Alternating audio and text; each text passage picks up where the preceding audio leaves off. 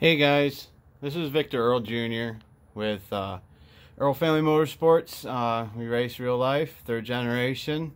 Um, last time we hit the track, these are a lot of our sponsors. They're great companies that were along with us. Um, hoping down in the future in the road that possibly we could have a few others on our virtual racing, which I just created was uh, Vicious Sim Racing. Um, we're gonna have the page up and running on Facebook soon enough. It's been created, but there ain't much on it. Um, just wanted to share with you guys today that we did that. I just got this uh, sim rig done. Um, been a lot of work, time. Decided to sell the race car due to family, kids. Um, so we decided to go this route because everybody can have fun with it. Everybody can race I'm just going to give a quick tour of my sim rig. Kind of explain a little bit everything that we got going on with it. First off, we got I decided to go with the Trak Racer 8020 uh, TR160. Uh, has become a favorite of mine. It's really solid and fully adjustable. Uh, what we got here is Ricmotech's hydraulic uh, GT pedals uh, inverted Wilwoods. Um, I wanted to keep the originality of what we did racing wise um, to keep going with that.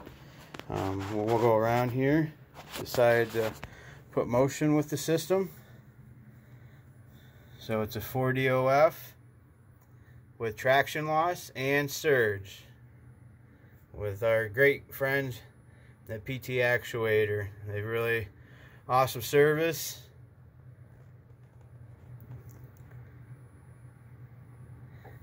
Great detail and workmanship. I know there's other companies out there, but these guys are coming up and they do a lot of good work with Thanos controller. Big shout out to Thanos for providing that for me. And we got SimWorks sequential shifter from Australia. Thing is really crisp, clean. It's solid. You can bang on it all day. And we also decided, since we went with the Ricmotech's hydraulic pedals, we decided to go with the handbrake for rally, drifting, uh, it's also as well. It's hydraulic, works great.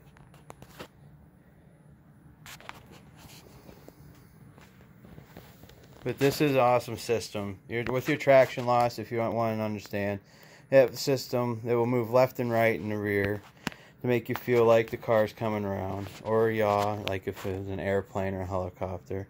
And then in surge, it will move forward and backwards. And it will heave up and down. And it will roll. And it will pitch. I have three different wheels. I like the Sparco for the dirt circle track. And then I have the Porsche wheel and also another Fanatec Formula One style wheel. Uh, we decided to go with the LG ultra wide game monitors. They work really well the 34 inch. Went with the Fanatec DD1. Thing's been solid, haven't had no issues yet. Um, played around a little bit of the FanaLab. I know some don't like it. I do. A lot of detail. Um, also have a Stream Deck, so we're going to start streaming. Um, do different things with programs with that. Also with the button boxes.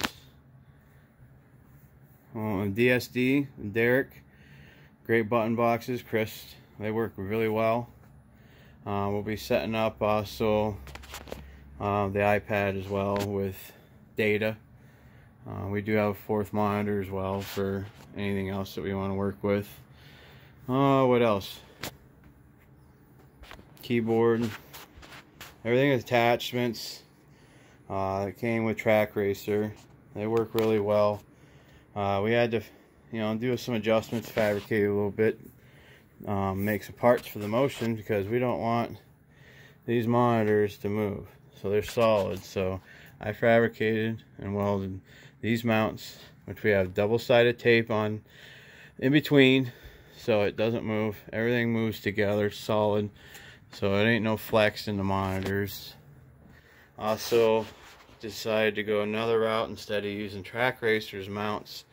I welded and built my own, which it comes down, bolts both sides, and then goes along the back side, double side tape, and then what I did is it curves around. So we put a plate in there, and then curved it all the way around, come out, and then bolted it up. I was able to level these right out. Everything's super solid.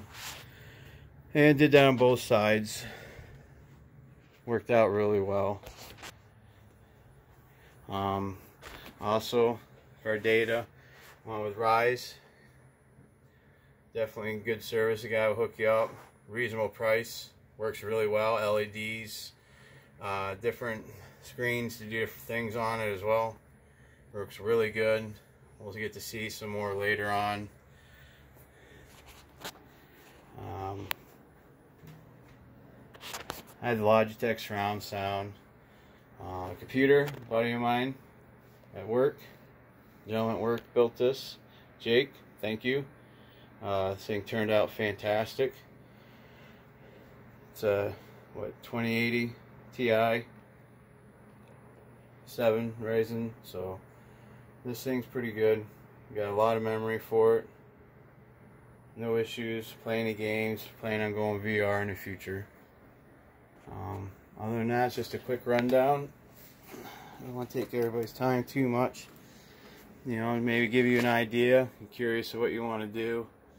Uh, this came from Trak Racer. It was what they consider their computer mount. I didn't really like it for motion to have a computer on there, but this thing actually worked out fantastic to be able to put the monitor boxes, which they're double-sided tape, hold it on really well. Box for the Fanatec. This hub is a powered hub 3.0. Everything works through the powered hub.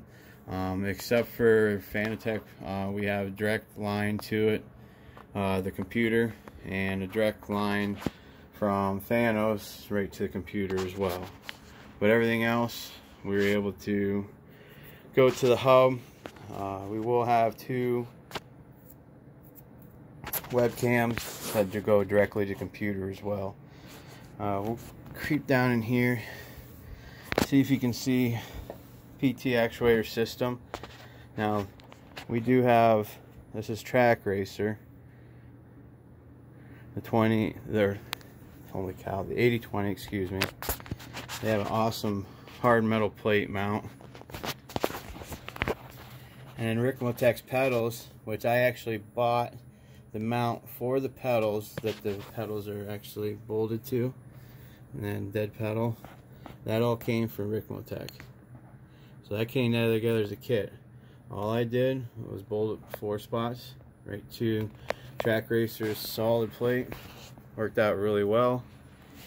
And then this bolts here. Now these are sliders. They will slide back and forth on this rail and give it for the surge.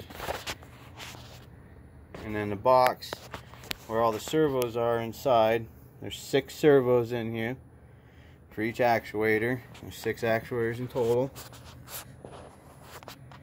This actuator is for traction loss. And then up above, not sure if I'm just looking at it right. You got the actuator for surge. Eh, PT did good really well. We were able to have this routing for the wiring. Everything wires are able to wrap around um, mount it real clean. Able to give enough for the motion move back and forth. Really heavy duty uh, platform that PT Actuator came up with. Thought out design. Some think well it looks a little high but it's actually not that bad instead of stepping down into your rig you just step up a little bit um, but it works really well. It's really solid. But other than that, uh, we got butt kicker on there. Mounted it right to the seat. So look for us. I'm posting this video. We're gonna do other videos and start streaming. Um, so you guys can see this motion for the next video.